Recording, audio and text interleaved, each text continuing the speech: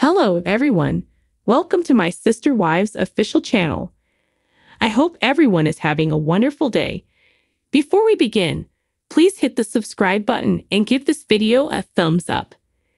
Before their lives became public again, some members of the Brown family got back together for a mini reunion to honor the memory of the late Garrison Brown. Sister Wives might be back for the next season shortly. Due to the difficulties that have befallen them in recent years, Cody Brown's children from previous relationships, Robyn, Janelle, Christine, and Meri Brown, have been more estranged from one another than ever before.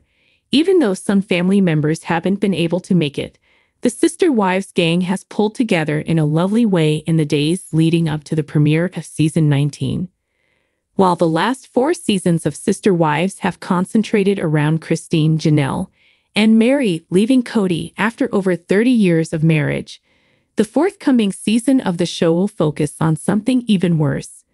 Christine made the difficult decision to end her marriage to Cody in season 17 of Sister Wives but she never thought Janelle and Meri would follow her example. After a heated dispute in the early episodes of Sister Wives season 18, Janelle and Cody divorced, while Meri's marriage to Cody had been slowly eroding for years before she ultimately left. On a 4th of July excursion, several Brown relatives got back together. Following a challenging year, the Brown family has been making the most of their time together. This included a holiday vacation that reunited Christine, Janelle, and a few of the Brown children. There were a few unexpected faces among the many Brown youngsters who have never been seen in public before, even though not all of them went on the 4th of July vacation. Among those, there were Janelle, Christine, David Woolley, and a number of Brown children. The trip comprised Savannah Brown, Aspyn Brown Thompson, Gwendlyn Brown, Shirley Brown, Ysabel Brown, Maddie Brush, and Lan Brown, along with several of their significant others. Following the tragedy, the Brown family has become closer. With Leon and their spouse, Audrey Kriss, present for the trip, it was unusual for Sister Wives watchers to see so much of the family together. Although there was a rift in the Brown family over the past few years, the loss of Garrison has brought everyone back together, particularly during tough times. Celebrating a holiday together, the Browns on the trip were able to lean on each other during a day that reminds many of their youth, their childhood, and their family of origin. In the months since Garrison's passing, the Browns have been significantly more bonded. Some of the Browns memorialized Garrison with matching tattoos, Although the bulk of the Browns have been memorializing Garrison, some of the siblings have shared a quote online and now have been allowed to remember their brother with a symbolic tattoo. Using a quotation from the 1996 film Dragonheart, several of the Brown siblings received memorial tattoos for Garrison, getting inked with To the Stars on their bodies. Janelle had published images of Gabe Brown's tattoo in the past and in their tribute post for Garrison, Lena commented their photos of their brother with the same statement. The sister wives family has been maintaining close and going on together. A lot is going on in Janelle Brown's life.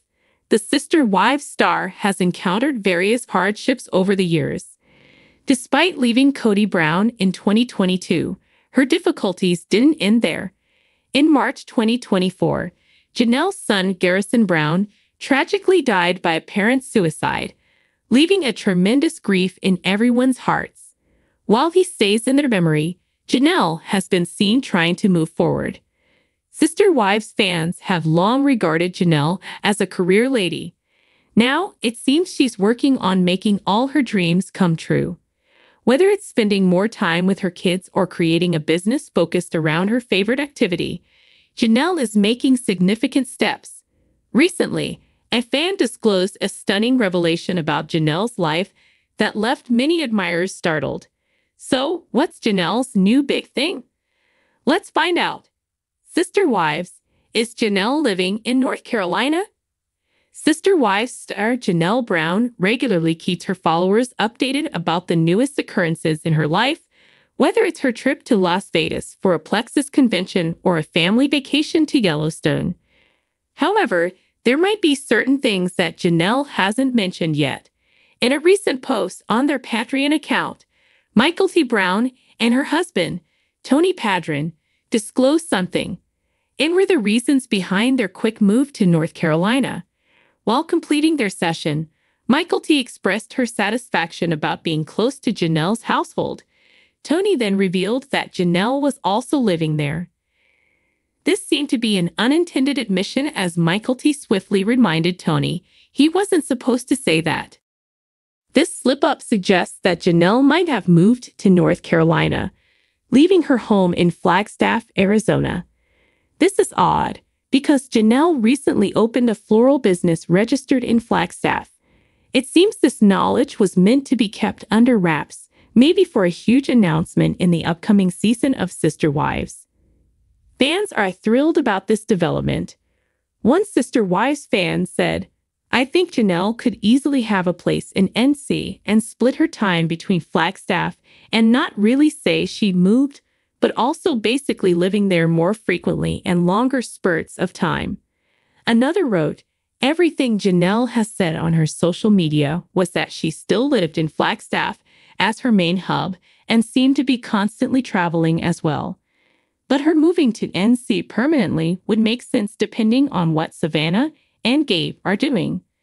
Sister Wives, Janelle Brown owns a business in Flagstaff.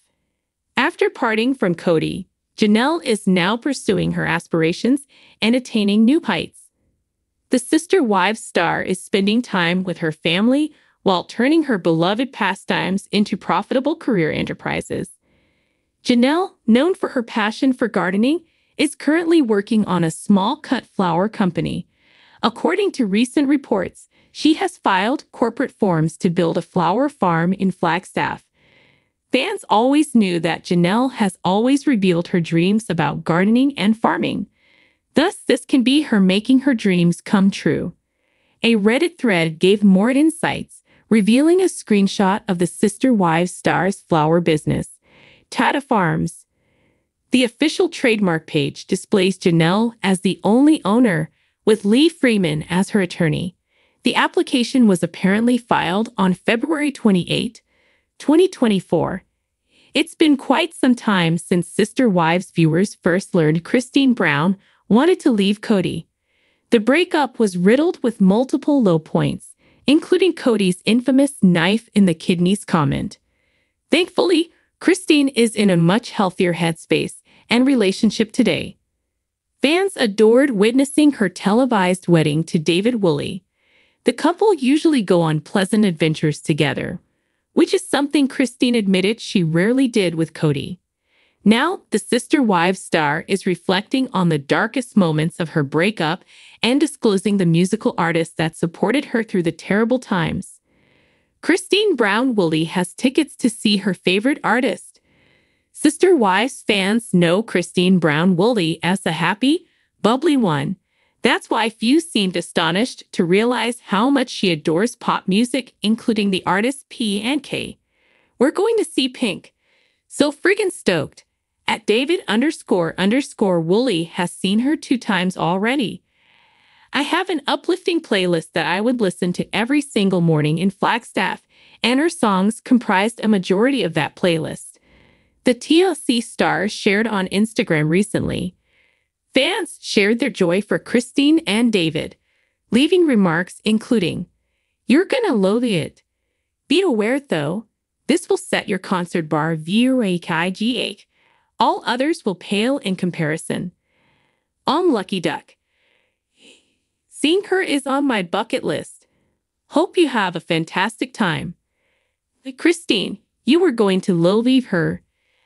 I've seen her three times, and she is one of a frickin' kind. Your life is about to be eternally changed. Just saw her last Wednesday in Amsterdam. She puts on one great show. So, what do you guys think about this update? Let me know in the comments below. And if you like my videos, please press like and subscribe for more. I'll see you guys next time.